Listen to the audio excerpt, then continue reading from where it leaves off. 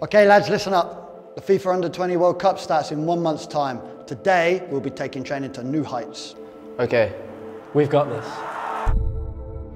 This has never been done in New Zealand before. One more thing whoever drops it has to jump.